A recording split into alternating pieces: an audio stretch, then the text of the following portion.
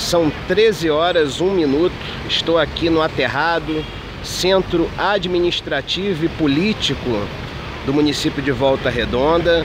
E uma coisa que eu observei, que eu acho que as autoridades públicas deveriam pensar é, nesse, nessa situação, é que nós estamos aqui numa via extremamente importante, certo? E estamos em frente a dois prédios públicos de grande relevância, que são a Justiça Eleitoral e a Câmara Municipal. E, no entanto, nós não temos uma passagem de pedestres. Nós temos mais ali à frente, né? mais ali abaixo. Mas é muito distante. Fico imaginando, para mim, né, que tem 37 anos, estou ah, com a minha integridade física ainda em bom estado, né? Ah, para mim ainda não há nenhum problema, apesar de ser dispendioso nesse calor, de me deslocar até ali embaixo e atravessar numa passagem distante, ou então ter que me arriscar mais ali à frente, ó, é, num sinal duplo, né? Não vem carro de um lado, mas vem de outro.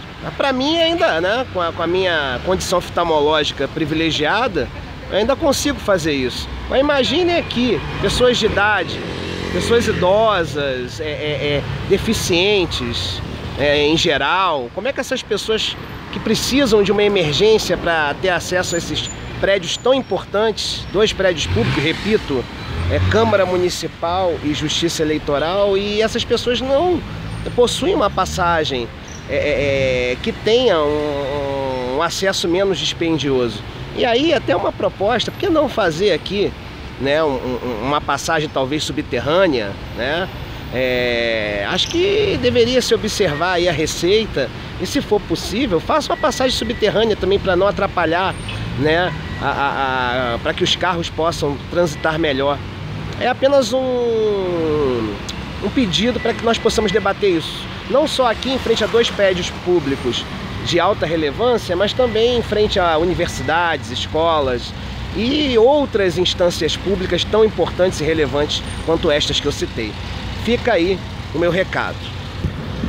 Um grande abraço e até a próxima com o canal Professor Rico Guimarães. Tchau, tchau.